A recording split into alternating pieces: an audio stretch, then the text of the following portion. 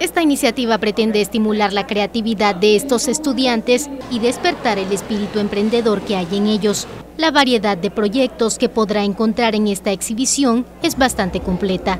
Hay dos tipos de proyectos, uno de graduación, que es un requisito para graduarse, tienen que exhibir, que son todos los proyectos que están de este lado, son proyectos individuales, y hay proyectos que son elaborados desde las asignaturas para mostrar lo que se va haciendo, la evolución del estudiante durante su carrera como tal. ¿Qué tipo de proyectos Hay una gran variedad, hay desde el diseño digital al diseño 3D, tiene diseño de marca, diseño social.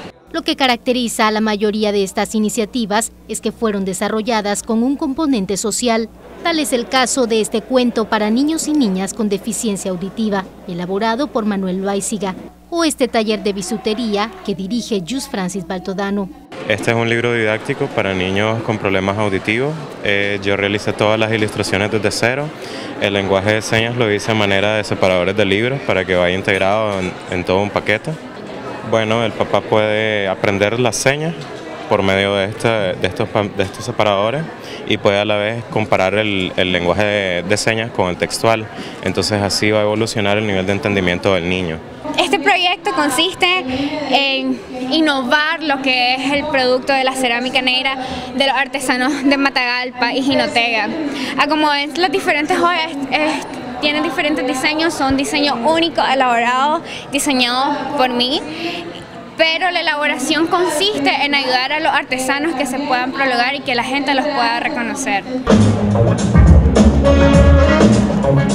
La moda también es parte de esta exhibición. Algunos de estos estudiantes esperan abrirse paso en el mundo del diseño, desarrollando su propia marca de ropa.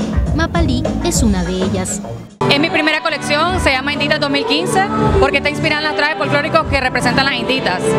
Eh, el, diseño es fresco, minimalista, casual y es más que todo para chicas que para chicos. ¿Te vas a dedicar en un futuro al diseño? Yo creo que sí.